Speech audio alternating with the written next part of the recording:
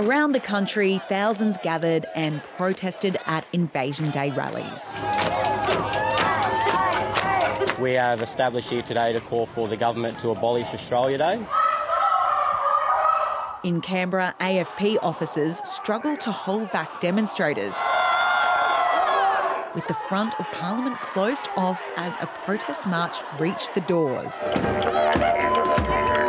This year, Invasion Day organisers invited Palestinian speakers to share the national spotlight. I think it's pretty obvious why we're staunchly standing with Palestinian people.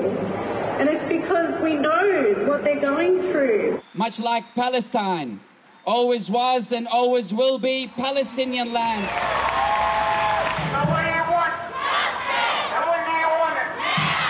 This was the first major gathering since last year's failed referendum, and emotions ran high. We're marching for a black future.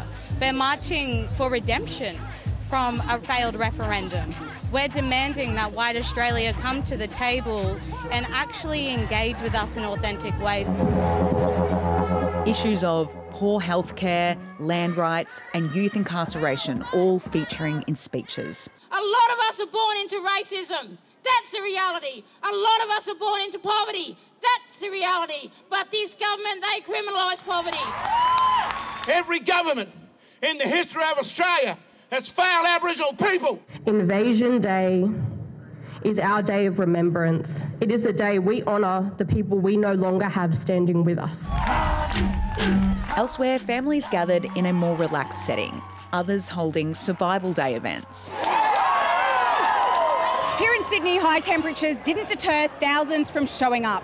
The mood here is emotional and energised as protesters demand a new era for Indigenous rights. Carly Williams, ABC News, Sydney.